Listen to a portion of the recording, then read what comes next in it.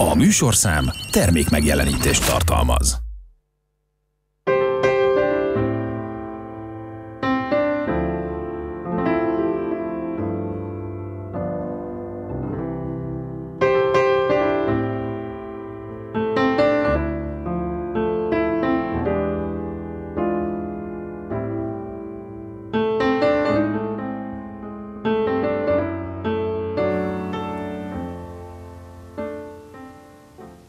Szép estét kívánok, köszöntöm a Fehérvári Beszélgetések nézőit. Megjelent Bakonyi István József Attila Díjas irodalomtörténész Eszenciák című kötete, tanulmányok és kritikák. Kedves nézőink, felhívom a figyelmüket, hogy október 24-én 18 órakor, tehát este 6-kor lesz a könyv bemutatója a Szent István Művelődési Házban, vendégem pedig természetesen Bakonyi István. Szervusz, örülök, Szervusz. hogy itt vagy velünk. Nos, hadd idézem Péntek Imrét, aki az előszót írta, hogy Bakony Istvánt a net földön járó embernek láttatja, ő viszont, mármint Péntek Imre meggyőzése szerint a művek barátja vagy, de hát ezt tudjuk régről. Örülök, hogy itt vagy velünk. No, hát én azt gondolom, hogy a lényegi kérdések, az eszenciák megjelenik ebben a kötetben, hiszen elképesztő mennyiségű olyan írás jelent meg, tanulmányok és kritikák, amelyek azt hiszem, hogy előre visznek bennünket, hiszen a széles spektrum a, a magyar irodalom különböző szerzőinek, és hát visszatekintés is van. Kezdjük talán azzal, hiszen Vörös Martiról is egy hosszabb tanulmány jelent meg. Azt hiszem, hogy ez nagyon-nagyon fontos számunkra, hiszen azért néha nagyon jó visszatekinteni. Igen, és Vörös Martin nekünk különösen fontos, hosszú évtizedek óta nekem is különösen fontos, még annak idején a Pécsi Tanárképző Főiskolás időben kerültem vele kapcsolatban, róla írtam szakdolgozatot, OTDK dolgozatot, és miután volt egy nagyszerű tanárunk, mindig elmondom Bécsi Tamás nevét, aki a dráma tudományig eh, elismert képviselő volt már akkoriban, sajnos már nincs közöttünk, de az ő iskolájába jártunk so, oly sokan, és és nála kezdtem foglalkozni Vörös Marti drámáival. Az is érdekes ebben az egészben, hogy ugye a Vörös Marti életműnek a drámai vonulát nézzük, akkor a Csongor és Tünde jött mindenkinek az eszébe. Esetleg a Cide és a Hunyadiak, amelyeket, amelyet ö, ugyancsak sikerrel játszottak hosszú ideig, még Sinkovics Imre főszereplésével a Nemzeti Színházban, de azt nem, az nincs a köztudatban, hogy a Csongor és Tünde és a Cillei mellett számos egyéb több mint tíz történelmi drámája is van, amely drámák végig visznek bennünket a magyar történelem, ha úgy tetszik, vérzivataros eh, évszázadain. És hát én ezeket eh, próbáltam akkor, akkor megvizsgálni, és ennek a, a a továbbírása következett a későbbiekben. Igen, ezek, ezek, ez fontos dolog mindenképpen, annál is inkább, mert hogyha csak most hazajövünk egy kicsit, és a Vörös Marti Színház No Man ez Csongor és, bemutat, bemutatja a Csongor és Tündét még hozzá Cukor Balázs rendezésében. Azt hiszem, hogy ez egy nagy kihívás, viszont nagyon fontos, hogy Vörös Marti műveit egy kicsit idézzük meg esztendőről esztendőre. Hiába felgyorsult a világ, azért ez fontos számunkra. Mint ahogy fontosak a 20. századi klasszikusok is, 20-21. század klasszikusai, akik köztünk vannak, akik nincsen. Egy kicsit foglalkozunk a fehérváriakkal, mert hogy Sobor Antal, Kalász Márton is kivételesen fontos számunkra. Igen, és azért, amikor egy ilyen kötetet összeállítok, akkor mindig figyelek arra is, hogy miután itt élek ebben a régióban, tehát az olyan életművekkel is foglalkozzak, amelyek szerzői ide tartoznak, és ugyanakkor olyan szerzők ők, akik az egyetemes magyar irodalomnak is a részei. Hát Soborantal és Kalász Márton mindenképpen ezek közé tartozik. Közülük Kalász az, akit, akit jobban ismer szerintem, nem csak a szakma, de talán az olvasóközönség is. Bár hozzáteszem, hogy éppen minap mondta valaki, hogy egy költőíró halála után néhány évig nagy csönd szokta övezni az életművet, és ezt tényleg tapasztalatjuk a legnagyobb életükben nagyon elismert szerzőknél is, és úgy érzem, hogy Kalász Mátorról is szólni kell, ugye néhány éve költözött el a élők világából, és hát bizonyos szempontból Soborantalra is vonatkozik mindez. Nekem ez, ezt is elmondtam már nagyon sokszor, hogy az ő prózai életműve szerintem a magyar 20. századi magyar próza élvonalához tartozik, ezt nem mindenki tudja, kevesen tudják viszonylag. Ő a, a vidéki tanárságban egy kicsit el volt zárva tulajdonképpen, én azt hiszem a nagy folyamatoktól, ugyanakkor ezt is sokszor elmondtuk már, hogy a, a Hosszú háború című vatai életrajzi regénye az szerintem az egri csillagok mellé állítható, ugyanarról a korról szól, de egyéb művei is, a Perei Uram sikeréről is már sokszor beszéltünk, és Istennek hála, a Perei Uram az most nagyon központi szerepet is kapott, én azt hiszem az utóéletében, hiszen tudjuk a, a, színpadi változatot, tudjuk, a, hogy film is készült belőle, Szikora János rendezte mind a két produkciót. Tehát én azt hiszem, hogy ugyanakkor az ébrentartása, és nem csak a, a, a drámahoz köthető tevékenysége, ami egyébként Román Károly tanár úrnak volt köszönhető, hogy a Bere Uramból ugye színpadi művet alkotott, hanem egyéb művei is, és hát most nem olyan régen jelent meg szinte egy válogatott novellás kötet. Hát felébredtünk, hiszen ott voltunk mi Igen. is, és a, a levéltár, a Fehérvári Levéltár és Kutatóintézet kiadásában azért a Sobor életmű most megjelent, és ráadásul ugye a veje gondozza folyamatosan. Így van. És ez nagyon-nagyon jó dolog. Ezt hadd tegyem hozzá, hogy ez egy nagyon példás tevékenység egy levéltárnak, hogy ilyen tevékenységet is folytat, mert uh-huh. ugye Fehérváron vannak egyéb alakulatok a, a, a könyvkiadásban is, de a levéltár most a Sobor életművet kétségkívül nagyon szépen fölkarolta. Nagyon fontos számunkra ez a két, és nagyon jó, hogy említetted Román Károlyt, mert azt hiszem, hogy, hogy majd az ő írásai is, kritikái, elemzései is megjelennek majd. Én bízom benne legalábbis. Igen, hát életében csak ugye egy tanulmánykötet jelent meg, mert ő, ha úgy tetszik, mindig elzárkozott attól, hogy, hogy könyv legyen az írásaiból, holott nagyon sok felé jelentek meg írásai, előadásai voltak. Mindig elmondom, és ezt most is így gondolom, hogy a, amikor, amíg élt, biztos, hogy ő volt az Fehérváron, aki a legtöbbet tudott az irodalomról. És, Egyértelmű. És ennek, ennek a nyomait azért most már majd meg, megtaláljuk a, könyvkiadásban Ugye is. mi a 70-es, 80-as években azokban a szerencsében részesültünk, hogy a középiskolában tanított bennünket mindkettejük történelmet, illetve szerencsés ember voltál. Szerencsés ember voltam, én magam is így van. És szerencsés emberek vagyunk mi, irodalomkedvelők, hogy olvashatjuk, hogy Mészői Miklósról, Tamás Menyhértről is milyen recenziók jelennek meg. Mégpedig azért, mert hogy én azt látom, nem tudom, hogy egyetértesz-e vele, hogy az irodalomtársaságok, irodalmi társaságok tagjain kívül a 20. század alkotói elfelejtődnek. Hát igen, kétségül van egy ilyen beszűkülés. Ne beszéljünk most arról, ezt is mindenki tudja, hogy hogy áll az olvasás helyzetem a Magyarországon. Éppen minap tettem közé egy Olvasunk-e még című amiben hát elmondja az ember az aggájait.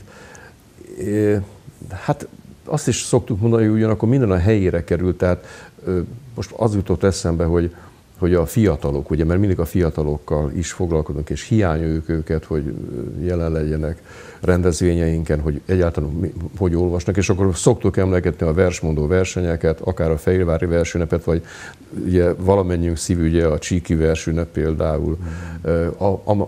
ahol fiataloknak, ha nem is több mege ide nagy számban jelennek az meg a fiatalok, csak éppen azt kell hozzátenni, hogy ők a, egy, mindig egyfajta szigetet képviselnek, tehát nagyon jó, hogy vannak, nagyon jó, hogy megmutatják magukat, de azért az egész ifjúsági, ifjúságra, a, a társadalom ifjúsági része nem ez a jellemző, és hát az ember, mint tanár, mint irodalma foglalkozó ember próbál ezért valamit betenni, hogy ez ne így legyen. A Mésző Miklós életmű az mennyire fontos neked? Hát Mésző Miklós a egyik legnagyobb 20. századi magyar prózaíró volt, aki akivel én, és ez egy régebb írás, amit itt közöltem a Megbocsátás című regényéről, aki nagyon nehezen tudott utat törni a szocializmus Magyarországán. Annak ide első könyv például nem is itthon jelent meg.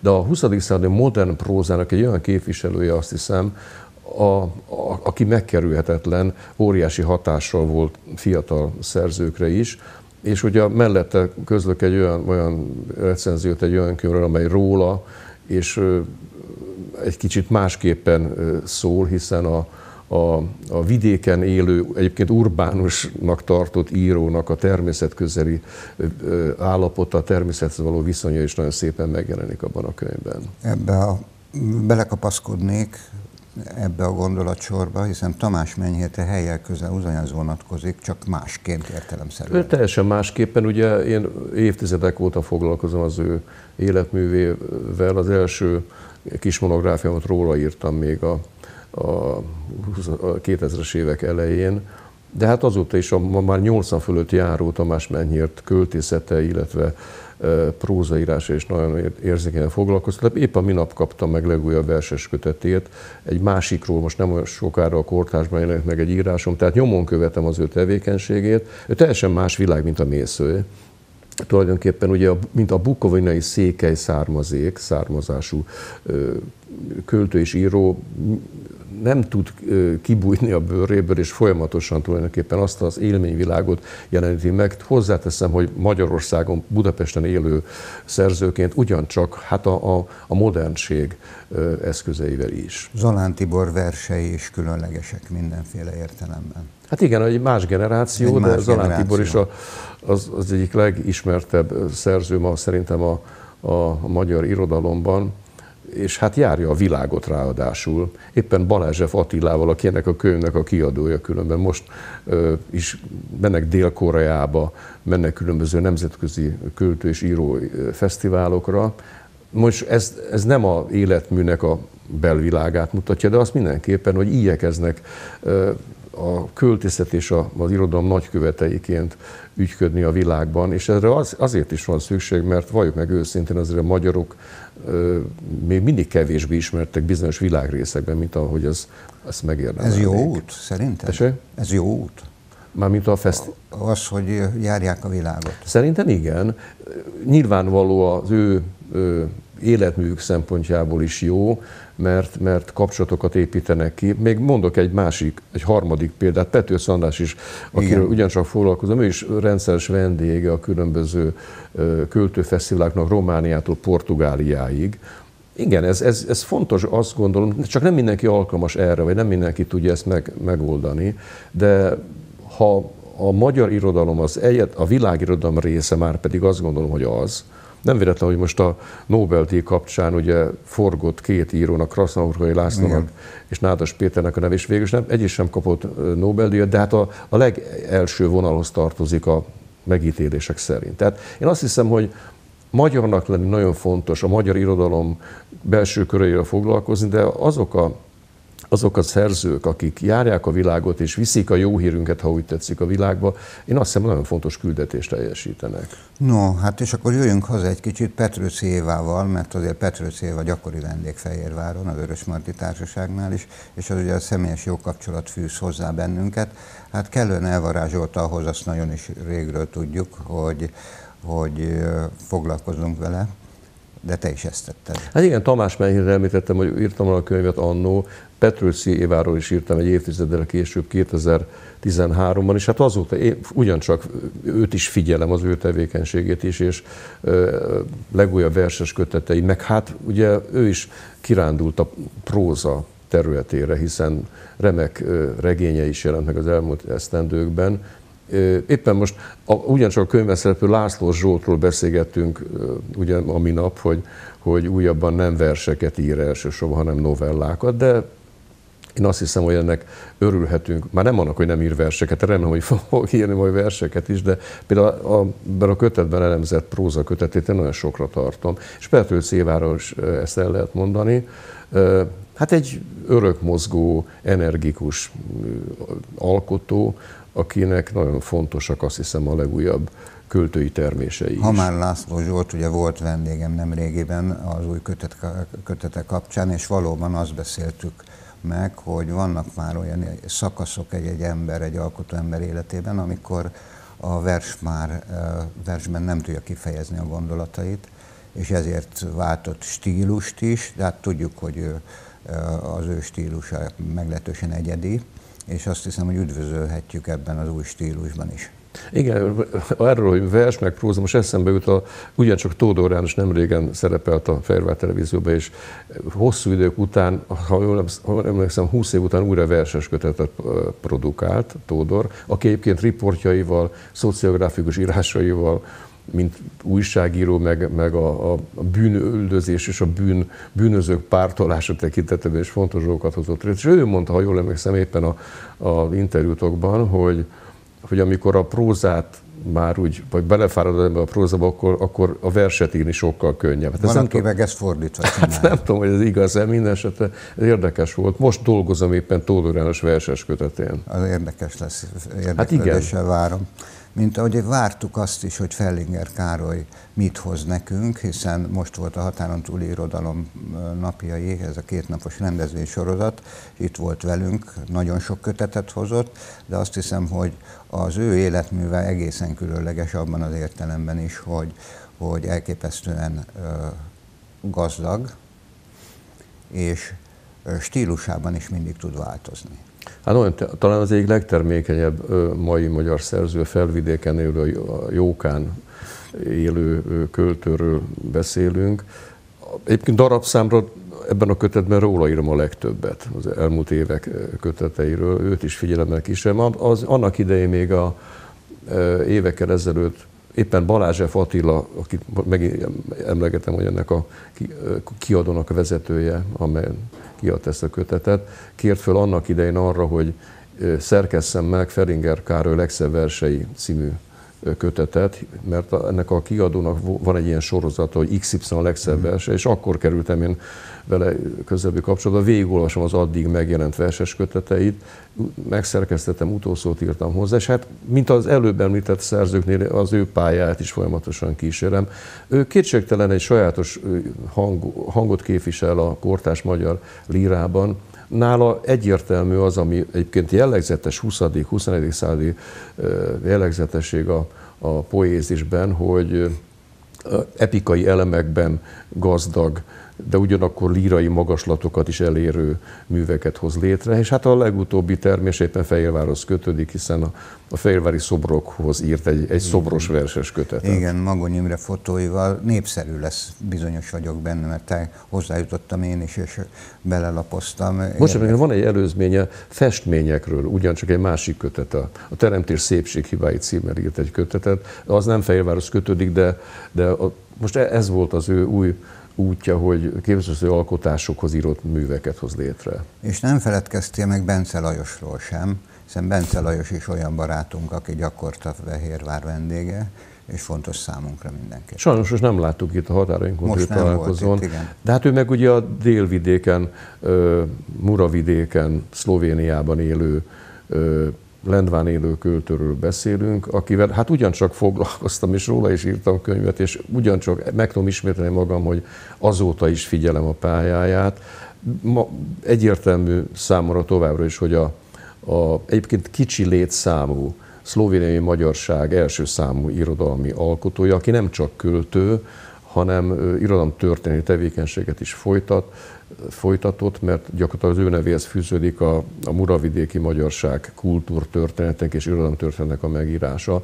De hát az ő sajátos költői hangja is, ott is azt tapasztalom, a, a, amit azért elég sokszor látunk kortás költőknél, hogy a, a tradíció, a hagyományos verse, verselés, illetve a, a modern ségnek, a modern formáknak az ötvezete nagyon szépen megjelenik a műveiben. Igen, ezt megtapasztalhattuk a Szent István Művelődési Házban a Csóri Sándor Társaság vendégeként. Mindig rendkívül érdekes előadásokat tart. Én azt hiszem, hogy fontos számunkra. Mint ahogy fontos, tehát ha már határon túlunk, a Janku Laura.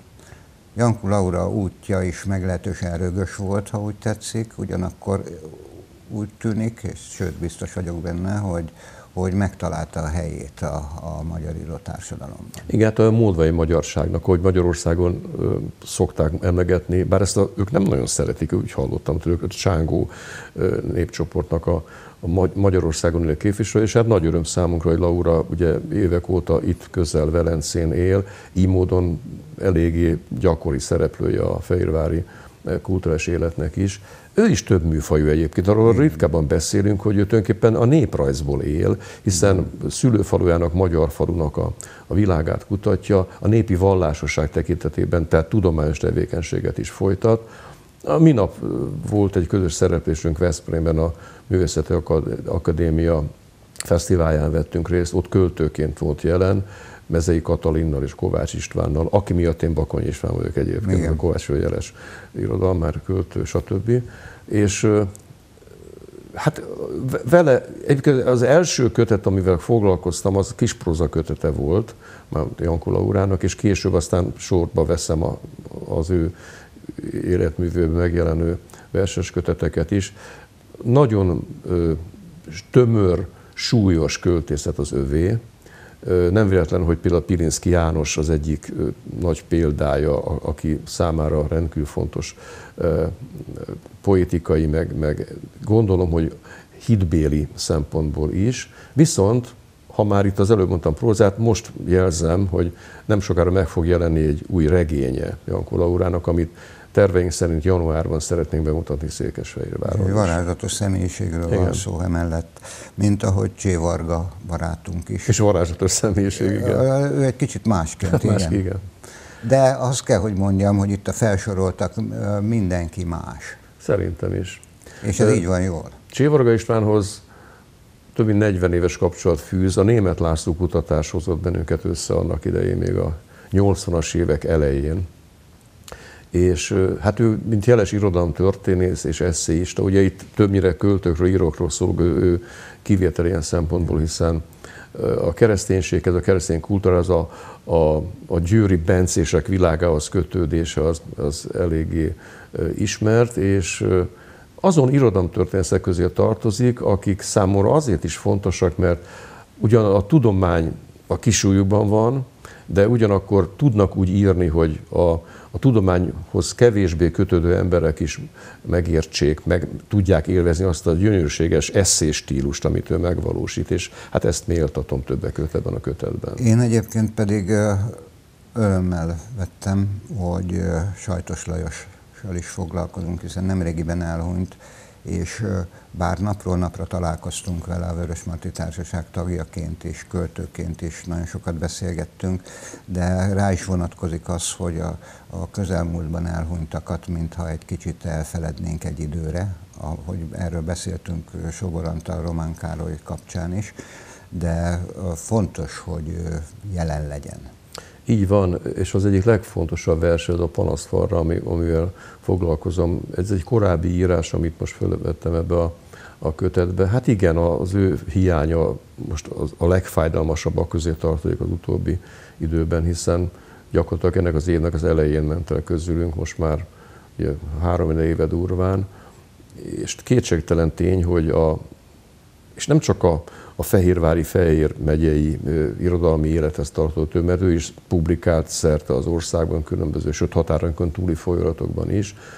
Igen, hát az ébren tartása az, az a mi kutya kötelességünk. És hát vannak olyan szerzők is, Gelli Miklós Gáborra gondolok, aki egyrészt keveset publikál, ugyanakkor nagyon fontos számunkra, mert hogy hát itt van köztünk, vele aztán valóban találkozhatunk. Előbb beszéltünk a termékenységről, hát ez rá nem jellemző mennyiségileg, de annál minőségibb az a költészet, amit Gellén Miklós Gábor létrehozott. Ugye évtizedenként jelenik meg egy-egy verses kötete, és az elmondom, hogy a, a Fehérváron élő költők közül, hát nem, nem akarok rangsort felállítani, de az biztos, hogy az egyik legelismertebb szerző szerte az országban, a különböző folyamatokban, egy kicsit más világot képvisel, mint, mint az előfelsorolt szerzők, de pontosan ez a sokszínűség, ami engem izgat, és ez a sokszínűség, amely folyamatokhoz tartozástól, pártállástól, világnézetől függetlenül fontos, azt hiszem, mert az értékközpontú irodalom, hát ez itt a lényeg, és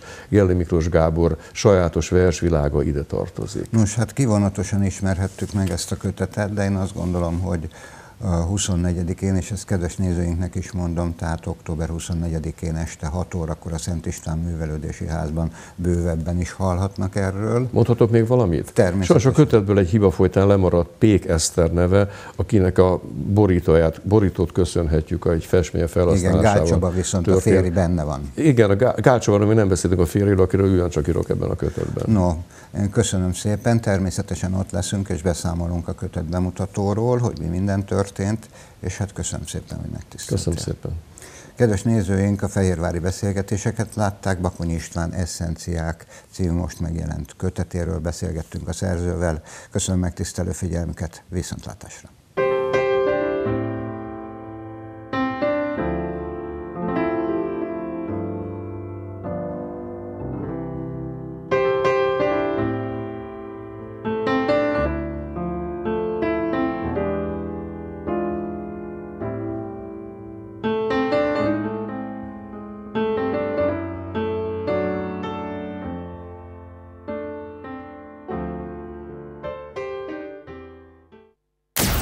Műsorszám termék megjelenítést tartalmazott.